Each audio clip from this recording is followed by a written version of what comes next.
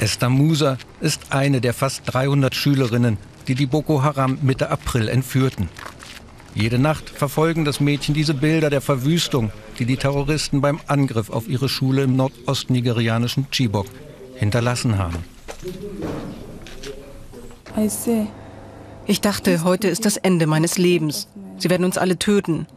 Das ist das Einzige, woran ich mich erinnere.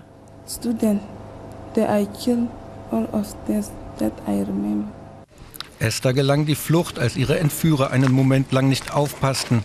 Noch immer fällt es ihr schwer, über das Erlebte zu berichten. Ich kann nicht schlafen.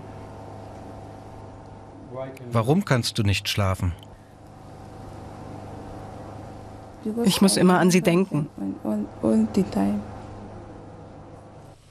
223 von Esthers Mitschülerinnen sind noch immer in der Gewalt der Terroristen.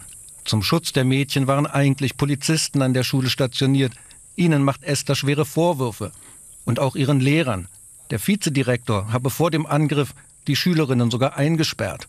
Dann seien alle verschwunden. Sie sind weggelaufen. They were running. Yes.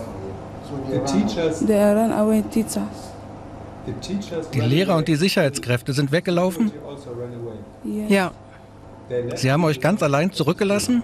ja. Es sind Schilderungen wie diese, die die Eltern der noch immer entführten Mädchen kaum ertragen. Auch nach einem Monat haben sie nicht die geringste Ahnung, wie es ihren Töchtern geht. Was wir wissen, wissen wir aus dem Fernsehen oder aus dem Radio. Aber noch nie hat sich jemand von der Regierung bei uns gemeldet, um uns irgendetwas über unsere Kinder zu sagen. Zur Not, sagt der Vater eines der Mädchen, werde er selbst losziehen, um sie zu suchen. Sein eigenes Leben sei ihm ohne seine Tochter ohnehin nicht mehr viel wert. Das Schlimmste sei das Gefühl der Machtlosigkeit, erzählen die Eltern. Das Vertrauen in ihre Regierung haben sie verloren. Umso wichtiger ist es ihnen, international Gehör zu finden. Sie sind sich sicher, dass ihre Kinder nur noch mit Hilfe des Auslands gefunden werden können.